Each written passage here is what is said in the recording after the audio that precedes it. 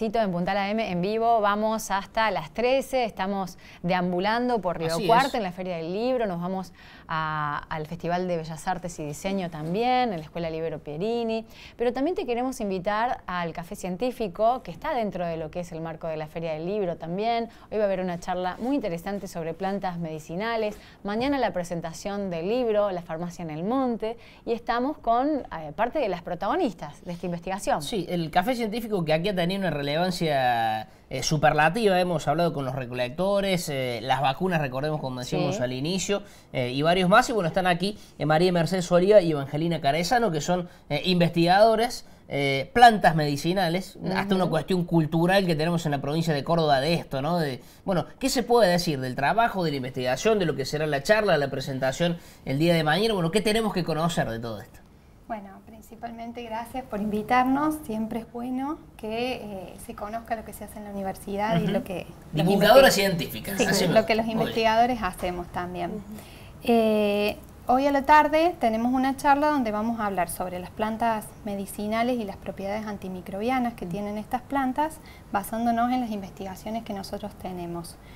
Y mañana a la tarde presentamos el libro Una farmacia en el monte, que también es una recopilación de una experiencia que está basada en un proyecto de transferencia subsidiado por el Ministerio de, Ciencia de la provincia de Córdoba. Ajá. ¿Cómo, ¿Cómo, es esto del proyecto? ¿Qué es un proyecto de transferencia? Se supone que tiene que ver con el conocimiento, con, bueno, con las escuelas secundarias, ¿a dónde? ¿Qué se transfiere a dónde? Bueno, en realidad justamente es transferencia del conocimiento científico hacia alguna institución receptora. Mm. En este caso, eh, la directora del proyecto, que es la doctora Reynoso, eh, se contactó con gente de las escuelas de Tras la Sierra, en Villa de las Rosas y en la localidad de Las Calles, que son dos localidades cercanas. Entonces ahí tuvimos muy buena recepción de esas escuelas secundarias, porque las eh, orientaciones que tienen en esas escuelas están relacionadas a las plantas aromáticas y también al turismo. Entonces ellos, dentro de su currícula, eh, lo que se dedican es justamente a cuidar muchísimo lo que es la flora eh, nativa, la flora autóctona del lugar. Y Córdoba es una de las provincias más ricas en la flora autóctona y medicinal que tiene la Argentina. Entonces, eh, está muy bueno eso de cuidarlo. Hoy a las 15.30 va a suceder esta charla que va a ser de divulgación de lo que ustedes están investigando más allá después de la presentación del libro. ¿Qué, ¿Cuáles son esas conclusiones a las que arribaron o se pueden sintetizar? bueno, buen día y gracias por la invitación. Y eh, nosotros tenemos como título eh, Plantas medicinales, una opción ecoamigable. La idea de lo que venimos investigando hace años es utilizar estas plantas medicinales o plantas aromáticas para contrarrestar enfermedades eh, que sean de interés agropecuario o agrícola. En este caso tratamos de eh, utilizar aceites esenciales de estas plantas para contrarrestar el efecto de bacterias fitopatógenas en diferentes cultivos y otro tipo de... Por ejemplo. Por ejemplo... Eh, llevémoslo. Por ejemplo, sembrar tal cosa en, soja, de qué? En soja tenemos, eh, aislamos bacterias que producen eh, manchas en las hojas, producen el tizón bacteriano y esto le resta fotosíntesis le resta rendimiento a la soja. Entonces tratamos de buscar este aceite esencial o este producto de plantas aromáticas que trabajamos con orégano y tomillo, mm. Eh, estos aceites esenciales inhiben o detienen el desarrollo de estas bacterias fitopatógenas tratando de que no produzcan estas manchas en las hojas, o sea, tratando de que sean efectivas contra eh, las enfermedades claro. Y de este modo también usarlas en reemplazo de, agroquímicos, sobre todo. Es un cambio de, conciencia, ¿no? El que se plantea desde, sí, sí, ese punto. Cosa que esto lo preguntamos siempre porque uno está acostumbrado a, otra vida en términos laborales, pero ¿cómo es un día de trabajo de ustedes como investigadoras? Digo, eh, siguen un camino, lo que vienen haciendo eh, es, estudiarlo, es profundizarlo, eh, cómo, se, cómo se siguen nutriendo de más información de un trabajo que investigan ustedes, porque son los que van llevando adelante la investigación, son ustedes mismos. ¿Cómo es un día de trabajo investigando? Bueno, la verdad que personalmente es bastante, es muy apasionante porque siempre es algo nuevo, porque tu trabajo sigue en base al, al resultado que vas obteniendo. Entonces vos primero planteas un proyecto, digamos, un protocolo que se dice, que donde vas a plantear ciertas experiencias. En base a cómo esas experiencias te van dando, vas viendo si vas para un lado o para el otro. Entonces tenemos mucha libertad de creación. Mucho prueba y error, digamos. ¿no? Totalmente.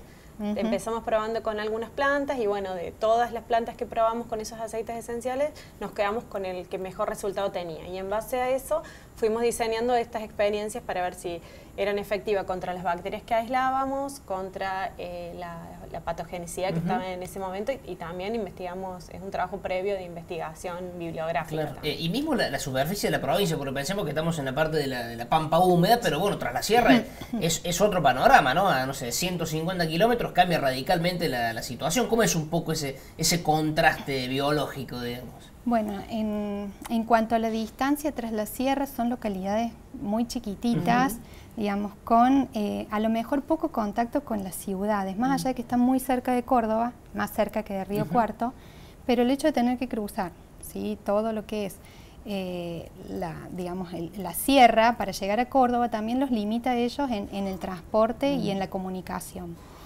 Entonces, bueno, nosotros llegamos hasta ahí por distintas circunstancias. Y eh, lo que estuvo bueno, digamos, fue que nos pudimos poner en contacto con escuelas que a lo mejor no tenían, nunca hubieran tenido un contacto con universidades, que no les pareció tan lejano el hecho de la universidad. Es decir, como que por ahí ellos piensan que es algo inaccesible por el lugar donde están, a pesar de que es cerca.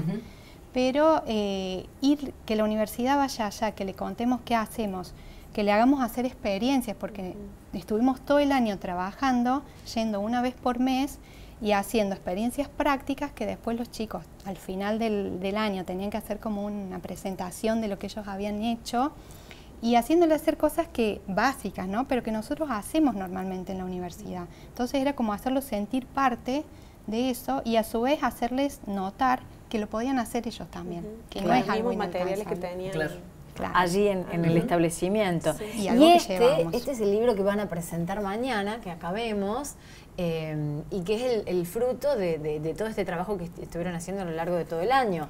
¿Qué vamos a encontrar acá adentro, por ejemplo? Bueno, en el libro es una recopilación donde primero hay un poco de historia de las plantas medicinales, después se habla un poco de, la, zona o, en general.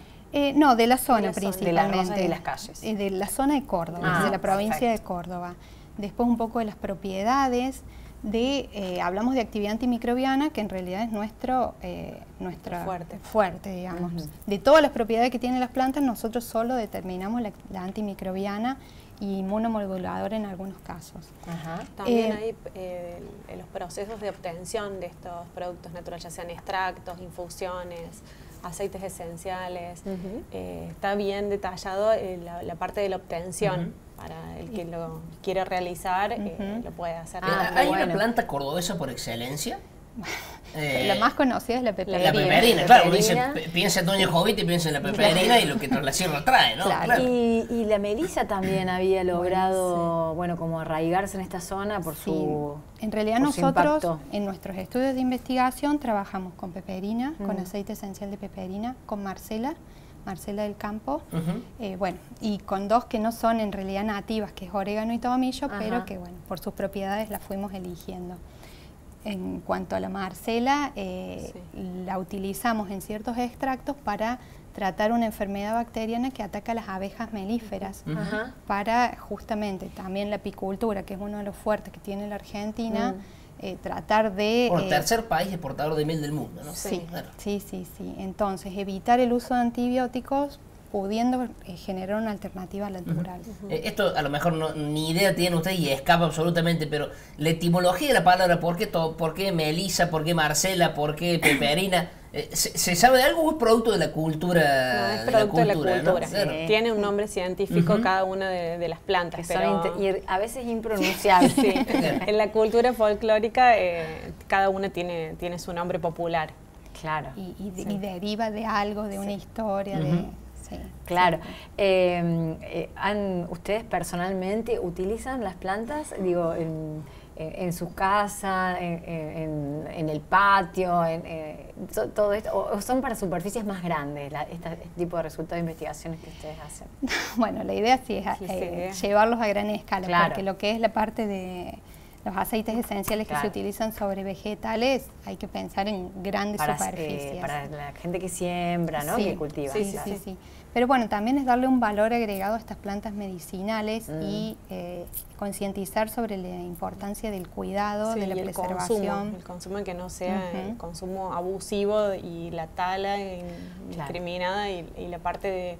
De, de, eliminación de la flora autóctona de la provincia, sino que hay que cuidarlo. En la parte de, del libro también y de las experiencias que estaban en, en este proyecto, eh, la profesora enseñaba cómo cortar la planta y no arrancarla desde raíz. Claro, para no, no pierda la para que no pierda la planta tampoco. Y que no, y que no desaparezca la especie, porque a veces el, mal, la mala tala, digamos, o la mala recolección que hace la gente porque va a la sierra, porque es lindo el yuyito, por lo que sea. Claro, hace más daño del imaginar. Sí, claro. pregunto así al azar porque veo, veo aquí página 66. De, ¿Qué son los térpenos y cuál es su función? Justo, justo. Bueno. de casualidad, ¿eh? los terpenos son los, ah, terpenos, son los componentes eh, principales de los aceites esenciales. Es, eh, son por lo general eh, lo que le da el aroma, son muy aromáticos y son los que por lo general tienen el principio activo o eh, la capacidad esta antimicrobiana que nosotros estudiamos. Pero es lo que le da el aroma, porque son siempre aromáticos, entonces es lo que le da el aroma característico a cada una de las plantas. Ya largué mal, eh, lo dije mal. Lo acentuaste mal. bueno, pero elegiste bien. porque era justo lo que te podíamos contar. Pensaba por ahí la importancia de eh, los subsidios, ¿no? De, los aportes, porque esto pensado en, gran escala o en microescala, en esto tiene que ver también con, un apoyo que tiene que ver con la educación, con saber tratar las plantas, cuidar las plantas autóctonas y saber los beneficios eh, que, a ver, nuestras culturas ancestrales los tenían muy incorporados, recuperarlo, reproducirlo y que esté de, repente eh, como, como una materia más dentro de la biología tradicional de la escuela de la enseñanza tradicional. Eh, para poder sacar más fruto de eso. Sí, lo que, está, lo que es importante también es a esa cultura folclórica darle una validez científica porque no es lo mismo que te dicen, ah, tómate esto, pero hay que saber la dosis, en qué cantidad, cómo se, te cómo, claro, cuál es el, el, la, manera correcta de, utilizar eso. Entonces también es importante que tenga una validez científica. Bueno, esta eh, tarde a las 15.30 en la sala Alberto Pinto, plantas medicinales es la charla. Y esto, es lo que, se presenta, ¿no? y, mañana, a las 16, en la sala Alberto Pinto también esta, eh, este fruto de la investigación de, las chicas, me ustedes dos o un equipo más de gente. Equipo más Vamos alrededor de vi aquí, claro, eh, quienes, quienes están. Eh, aquí, ¿no? Este, estas. Elina Reynoso, María, Gladys, María de las Mercedes Oliva, Gladys Pavicic, Viviana Beoleto, María Evangelina Carezano, Juan Miguel Marioli, María Fernanda Paletti Robey, Diana Pimentel Betancourt, María Carola Sabini, Melina Moliva, eh, Florencia Menis Candela y Jessica Sotelo, eh, quienes integran este gran equipo, ¿no? Como una formación del 1 al 11, eh, quienes han hecho una farmacia en el mundo. Bueno, chicas, éxitos entonces esta tarde en la charla y en la presentación del libro. Muchas gracias. Bueno, muchas gracias por gracias. Gracias por venir. Otra edición del, Café Científico que seguiremos. Hemos tocado todas las aristas, ¿no? Exacto. Ahora biológica, muy Iremos por más. Vamos con Cami ahora.